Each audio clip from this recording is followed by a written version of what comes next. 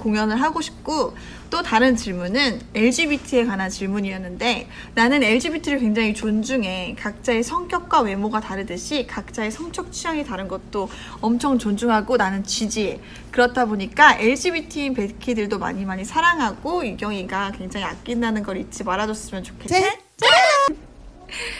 그리고 저는 LGBT를 존중합니다.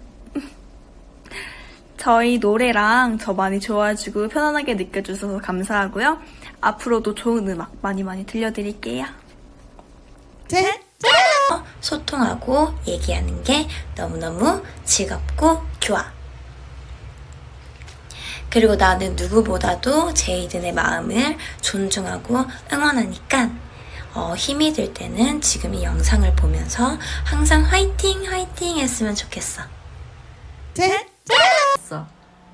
그리고 나는 LGBT를 굉장히 존중하는 편이야. 정말 지지하고 항상 너를 응원하고 있으니까 너무 걱정하지 말고 항상 우리와 웃으면서 힘든 길도 같이 헤쳐나가고 우리와 꼭 같이 함께 하자. 알겠지? 셋,